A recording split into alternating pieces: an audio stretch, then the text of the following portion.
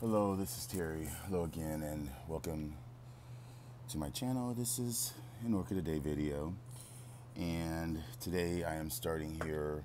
I'm gonna walk through and show you how I've emptied the greenhouse. There is a table left, but for the most part, it's all empty. But I'll start here with my Schoenina. This is Dockrillia, formerly uh, Dendrobium, and it is mounted. I've had this for probably this is probably my third year having this, and it's bloomed every year. And it usually blooms earlier, but you can see there's the buds starting. They usually start at the beginning of when the new growth starts, and you can see there's a new growth right there coming up. Uh, this flower is very small, but it is fragrant, and it does flower in mass, sort of um, not sequentially, but the flowers kind of develop uh, slowly and over a over a you know slow period of time all over the plant. There's another bud right there. You can see it right there. So they start. They are tiny, but there are numerous ones, and they are fragrant. Um, can't really remember what the fragrance is right now because as I'm saying, making this video, I have, uh, I'm smelling some fragrance in here from somewhere. I suppose it could be from outside. But anyway, this is this is what's left in the greenhouse. Nothing down at this end except for my my my uh, paths and some of my um, uh, you know er Eryngus, my uh, angraecoids is what I'm trying to spit out. I have uh, little seedling uh, bulbophyllum here. And of course, as I've said, my Phalaenopsis, which is what I am smelling at the moment, will be out here. Um, this table will probably most of this stuff will go outside except for uh, there's a phalen, there's some phals here and there's a phalaenopsis somewhere there. Probably move them out as soon as um, that dendrobium blooms, finisterrae, and then I've got these uh, epidendrums here that have buds on them and there's spikes.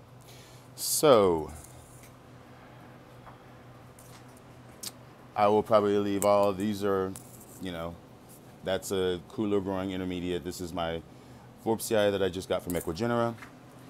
Um, of course, these are all uh, Phalaenopsis paths, my Gigantea, my Tawate. I'll probably move this outside. Um, I can just take it out now, actually.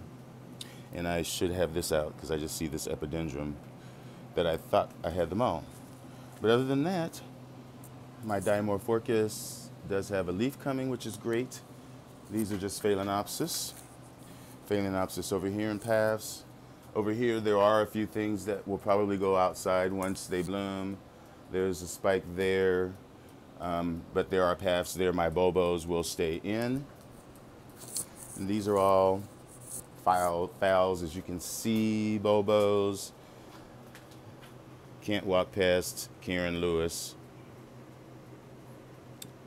without staring and getting caught up. But I also have two spikes down there. That's actually there's flowers on that dendrobium, which is secundum. And then, of course, here is my Schwetzii that is ready to, wow, I can smell that. I can smell her. You smell stinky.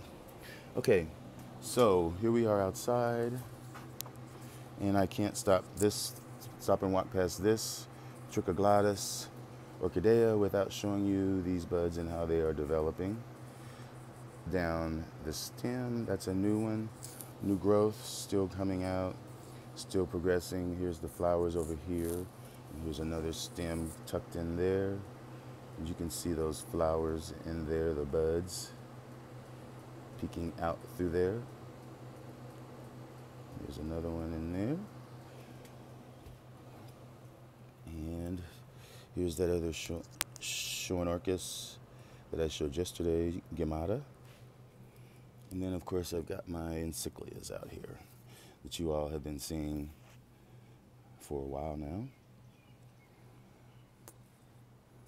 So, yeah. Mostly everything out. except for that one table. Grammatophyllum stapeliiflorum. And I'm anxious to see those flowers on that sulcatum, which you know I just got. So I'll set that down. And I'm going to have to move these angraecums back inside. Not inside, but I'm going to move them back in the cage so that they can get a little bit more shade. When the sun goes over this way, the sun will be blasting over here.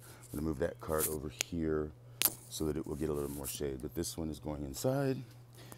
But I can do that another time later. Let me show you this real quick. But it's closing up. That was my small world times nodosa. And we'll just end right here with Epidendrum pin cove, which I showed you yesterday in that unboxing. Well, it wasn't an unboxing, but it was a uh, what's in the box. But anyway, folks, thanks for watching. And enjoy your orchids.